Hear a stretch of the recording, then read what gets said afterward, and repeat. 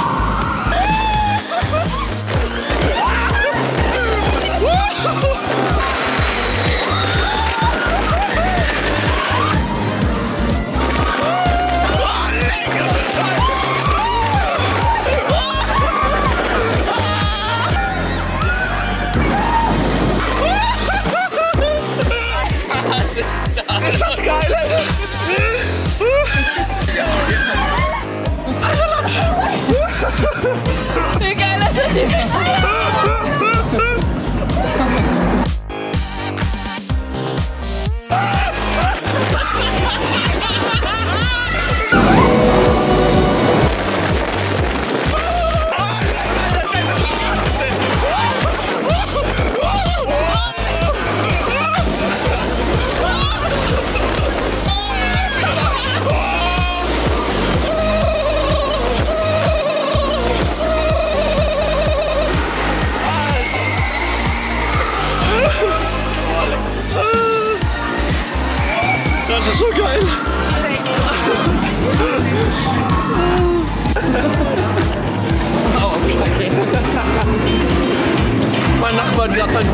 zu stark auf seine Weichteile gedrückt und der geht dann immer hoch.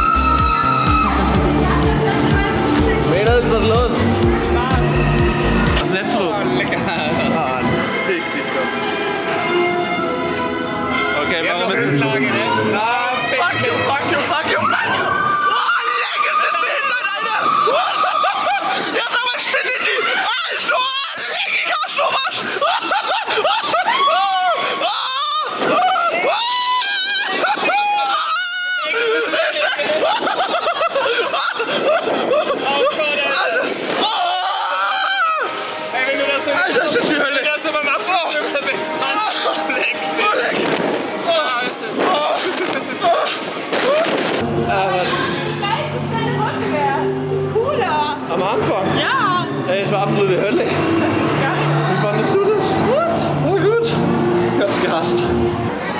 Könntest du deine Frage nochmal stellen, bitte? wie du den Tag bis jetzt findest. Super cool. Super schön. Amazing. Gut oder schlecht? Sehr gut.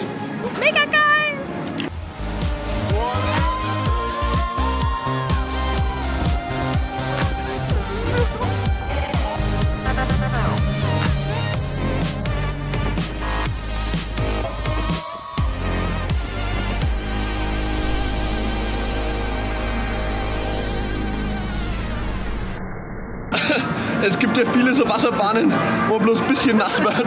Das war keine davon, wir stehen komplett. Unser Boot steht unter Wasser.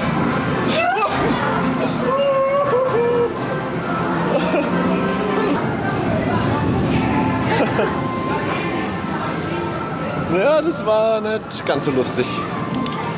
Alter. Aber mir geht's eigentlich noch. Ich habe nur die ganze rechte Seite im Arsch. Ja, David hat alles ins Gesicht. Ich habe mich in der Matze versteckt. Ey, wir sind glitschnass. Schau mal, Mann, Alter. Du musst halt einfach den größten und breitesten vorne hin. Oh nee, hört auf, hört auf, hört auf, hört auf, hört auf! Ah! Nicht dein Ernst, Alter.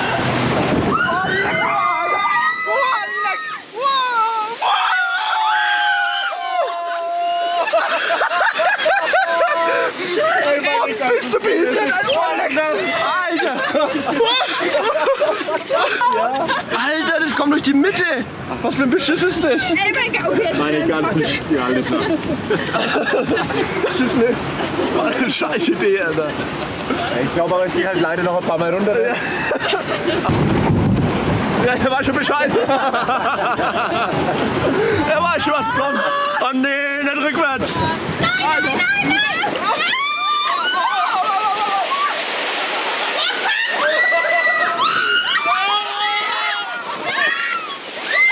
So Attraktionen, die werden schlimmer, wenn man weiß, was anderes, aber ich finde, das ist noch lustig.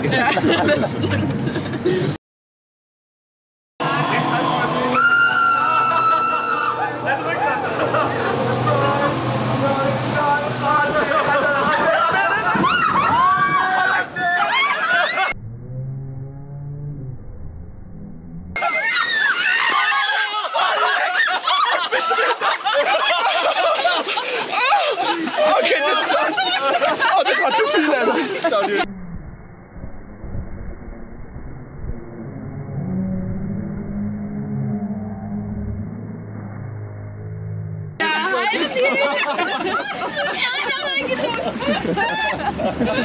Boah, der war übel.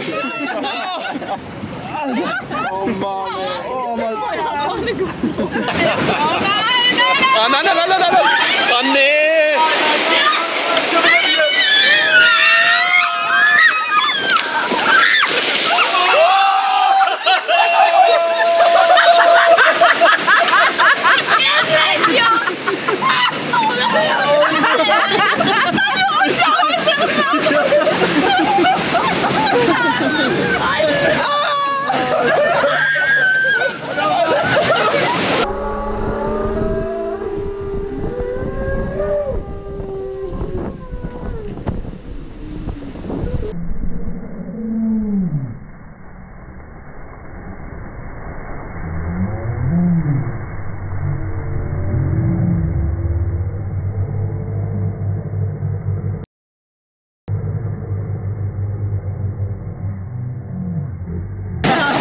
Jetzt geh mal raus.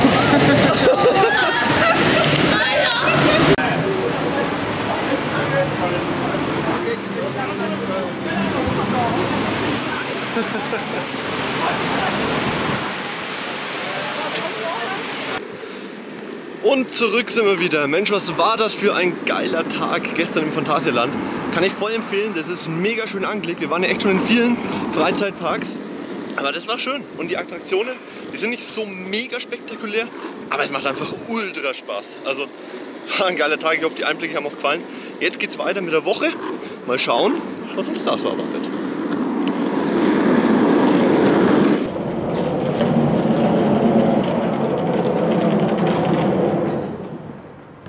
Stopp. Du fragst dich jetzt wahrscheinlich, Alter, warum fährt der Christoph mit einer Klimaanlage hier durch die Tiefgarage? Nummer eins, es ist bumswarm. Es hat heute 38 Grad gehabt.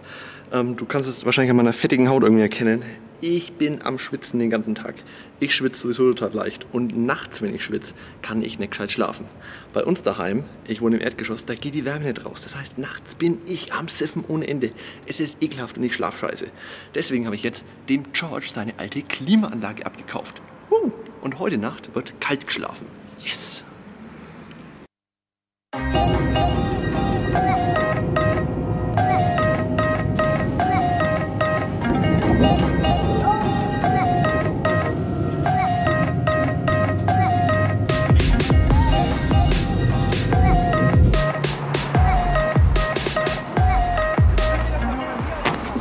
und schwupps ist auch schon Wochenende und ich bin in Düsseldorf.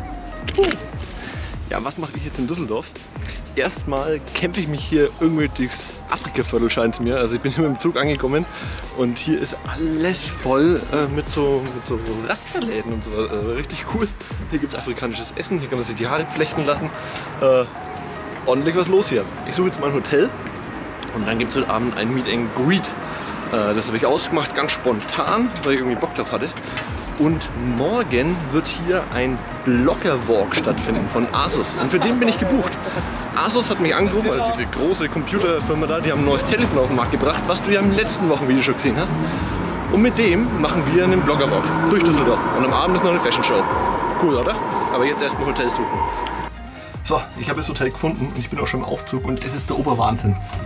Links, du stehst überall an. Das ist der kleinste Aufzug der ganzen Welt. Hinten anstoßen, vorne anstoßen. Was ist denn da los, Alter? Da geht die Tür auf. Ey, ist, jetzt dachte ich, der Büro ist klein. Aber das ist ja die Hölle hier. Oh, raus da.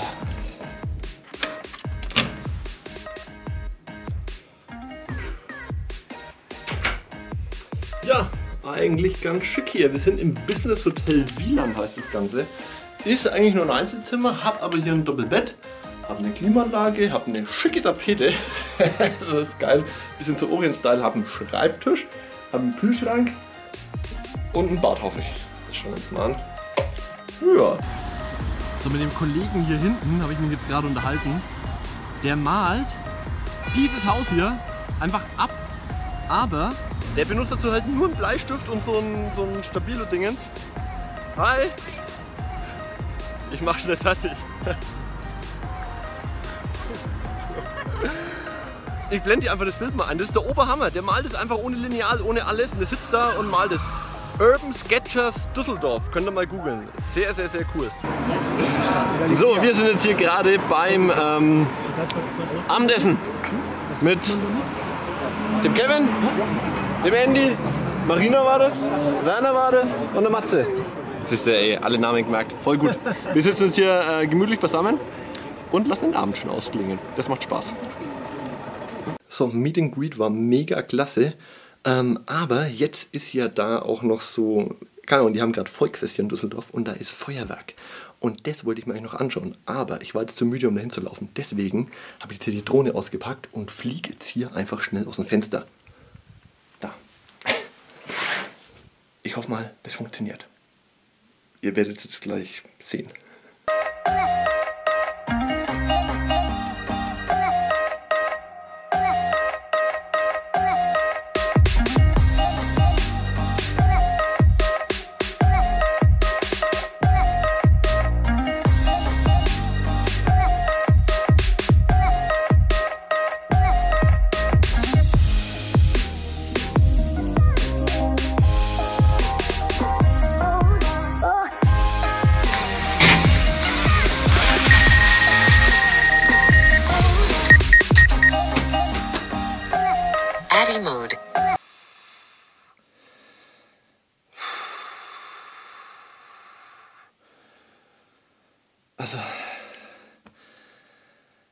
Mein Herz klopft immer noch sehr stark. Es war sehr aufregend, wie du den Filmaufnahmen hoffentlich äh, entnehmen kannst. Alter, was war da los? Also, sie ist noch ganz, sie lebt noch. Äh, alles, alles im grünen Bereich. Ein Propeller ist abgeflogen, den habe ich wieder hingebaut. Sie hatten ein paar auf dem Propeller, ein paar so Schrammen jetzt von der Decke. Ich hoffe, das Hotel schaut meine Vlogs nicht. Aber ey, wie krass ist das? Es wäre überhaupt kein Problem gewesen, durch dieses große Fenster rauszufliegen und wieder reinzufliegen. Das Ding ist, das hat hier innen irgendwie kein GPS-Signal und so. Und, oder, aber normalerweise hat es in Räumen ja kein GPS-Signal. Ich würde verstehen, warum. Normalerweise soll es sich ja in Räumen austangieren. Auf jeden Fall hat es das nicht gemacht, sondern ich habe das Ding angemacht und dann war es schon mal schwierig, weil es die ganze Zeit hoch und runter ist. Dann habe ich es einfach rausgeschickt und bin erstmal losgeflogen. So, und jetzt beim Reinkommen hat es das gleiche wieder gehabt. Ja, der ist hoch runter. Ich konnte einfach nicht sauber steuern. Wenn ich das Ding gerade hätte fliegen können, wäre es überhaupt kein Stress gewesen. Aber der hat sich die ganze Zeit der ist automatisch hoch, runter, ist automatisch links, rechts und ich muss gegensteuern und ja richtig steuern auch noch. Also ich habe ihn dann rein und ich war einfach nur froh, wie er wieder hier am Fenster war. Und ich habe mir überlegt, fängst ihn schnell? Und dachte, nee, hopp ins Fenster rein, bevor der da irgendwie fünf Stockwerke runterkracht. Ja, und beim Reinfliegen war ich dann einfach so froh, dass er drin war. Und dann ist er kurz links ans Fenster. Und dann war er aber im Raum und ist komplett durchgedreht und ist an die Decke hoch dann er, ihr habt ja gesehen, an der Decke irgendwie lang, lang und jetzt ist er hier irgendwie runtergekommen und zum Glück ist der Fußboden aber weich, also ist echt alles in Ordnung, aber ich werde es morgen auch gleich mal probieren, ob das Ding noch fliegt, aber es schaut gut aus, alles dran, nichts abgebrochen, also sehr, sehr robust, also ja, äh, haben wir das auch mal erlebt. Also ich bin sehr aufgeregt, muss ich jetzt auch kein zweites Mal haben, aber ich würde ihn schon gerne mal wieder drin irgendwo fliegen lassen. Ähm, falls einer weiß, woran das liegt, bitte mal in die Kommentare posten hier. Ich habe, ähm, ja, ich habe, okay, ich war im Flugmodus vielleicht, also das Handy war im Flugmodus. Ich hatte kein, kein Netz, aber eigentlich darf das ja auch nichts ausmachen. Der hat ja Sensoren links und rechts, die waren auch alle an. Also ich habe nichts ausgemacht. Äh, warum der so, so abgeht, wenn der kein äh, GPS-Signal hat. Ähm, Komisch. Also wenn du eine Idee hast, schreib es gerne mal unten rein. So, der Schock von gestern ist so gut wie verdaut. Jetzt geht's ab auf den äh, Bloggerwalk von Asus. Da bin ich schon sehr gespannt. Ähm, ich bin da alleine mit äh, 10 Mädels unterwegs. Das hatte ich auch noch nie. Ähm, ja, aber wird cool bestimmt. Ich versuche dich ein bisschen mitzunehmen, zumindest ein paar Eindrücke äh, mit aufzunehmen. Labern möchte wahrscheinlich nicht so viel können. Ich bin jetzt vor Ort und da sind halt echt nur Mädels, das ist der absolute Oberhammer. Also ich war schon bei vielen Fotoboxen so dabei, aber ein Typ, der, der Kameramann, sonst wäre ich komplett verloren unter, ich glaube, 15, 20 Mädels. Also, Das wird interessant.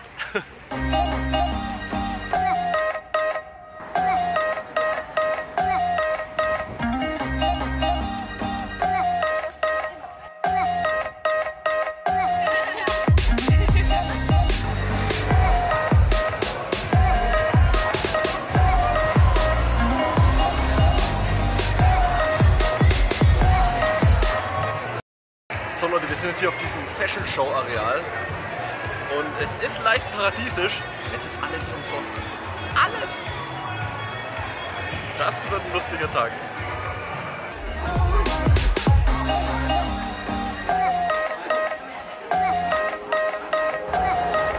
Ja Freunde, wir sind jetzt hier tatsächlich auf einer Modenschau. Ich war noch nie auf einer Modenschau vorher und ich wusste auch nicht, dass es jetzt schon vor Mittag oder vor dem Essen irgendwie ist.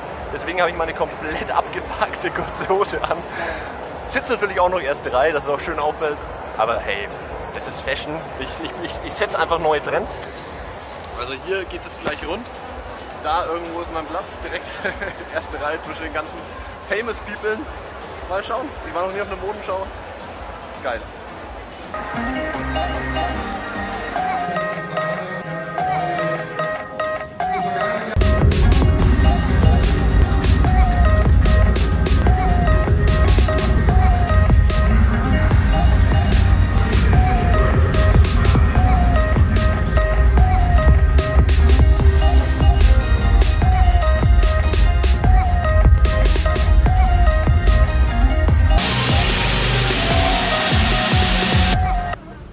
Das Coolste habe ich glaube ich noch gar nicht erzählt. Wir werden hier die ganze Zeit mit Autos von Lexus rumgefahren. Die haben hier eine ganze Flotte bereitgestellt. Hier überall kommen die Lexus-Autos. Und wir werden hier durch die ganze Stadt kutschiert. Das ist richtig, richtig geil. Eine Ding nach der anderen. so Freunde, mittlerweile ist 21 Uhr. Wir warten auf die nächste Fashion Show. Und äh, wir sind gespannt. Wir sitzen mal wieder in der ersten Reihe. Ja, Lea, hallo. waren gerade noch lecker essen und haben hier draußen noch äh, ein bisschen was getrunken und so weiter. Jetzt soll es gleich losgehen Was ist das? äh, für mein Wochenvideo. Ach, du machst immer Wochenvideo? Ja. Cool. Das hat er jetzt live dabei. Oh mein Gott. Aber schau mal, was hier alles aufgefahren ist. So an, da kommst du vor hier bei der Tour de France, Alter. Absoluter Oberwahnsinn. Ich habe ja gehofft, die wären alle wegen mir da, aber kennt mich keiner.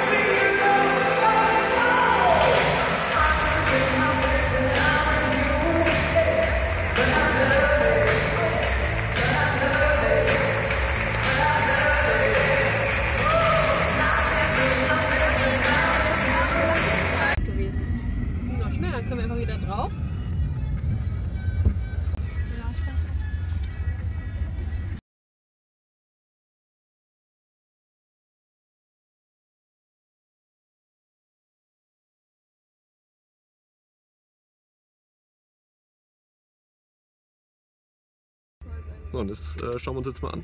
Kirmes heißt es hier. Ich kann nicht warten. Ich brauch so ein paar. Ja, schade, ne? Das war's. Kirmes.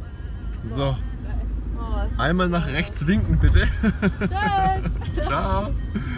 Wir sind da drüben über die Brücke gefahren und haben uns überlegt, wir könnten da drauf gehen. Jetzt sind wir einmal hier im Kreis gefahren, auf der Suche nach einem Parkplatz es hat einfach nicht sein sollen. Wir waren eine halbe Stunde im Stau auch noch gestanden.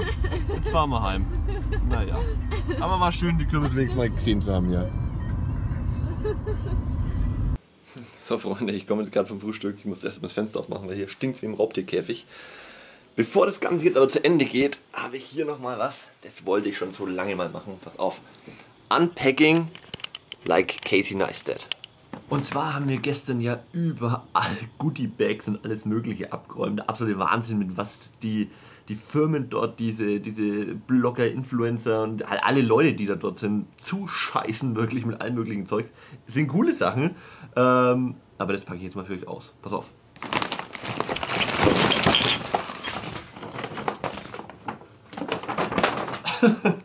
was du da alles geschenkt bekommst. Lillet, ein Damenrasierer eigentlich, Picard, Schlüsselanhänger, Männermaske, ja, Nagel, Nagellack brauche ich jetzt nicht, Nagelfeile auch nicht so, Getränk, äh, Dingens, ein Fächer, Popcorn, Lufterfrischer, getrocknetes Obst, ein Kakao, Kokoswasser. Und so geht's hier weiter. Also komplett abgefahren. So sieht es aus. Ach, da wird sich die Denise freuen, wenn ich heimkomme. Obwohl, erstmal schaue ich, was ich brauchen kann. Jetzt ist aber das Ganze auch schon, Moment, ich drehe mich, zu Ende. Denn das war der Tag gestern, wie gesagt, hat mega Spaß gemacht. Wir waren da ähm, komplett Special VIP, ja. Also musst dir vorstellen, ich trottel in meiner zerrissenen H&M-Hose, für 9 Euro sitzt bei der Fashion Show in der ersten Reihe. Kann man mal machen. Die haben sich wahrscheinlich alle gedacht, ey, was ist denn das für ein Typ, dass der sich sowas erlauben kann.